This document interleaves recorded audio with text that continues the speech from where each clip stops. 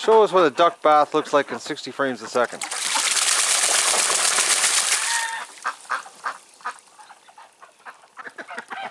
Come on, girl.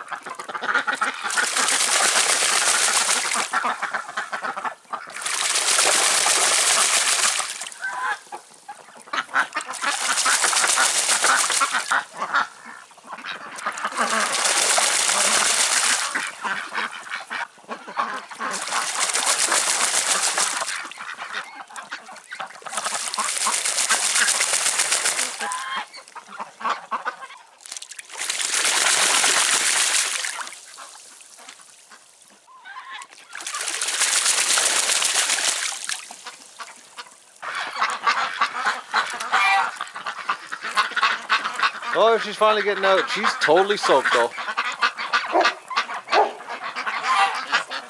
Oh, she's going back in.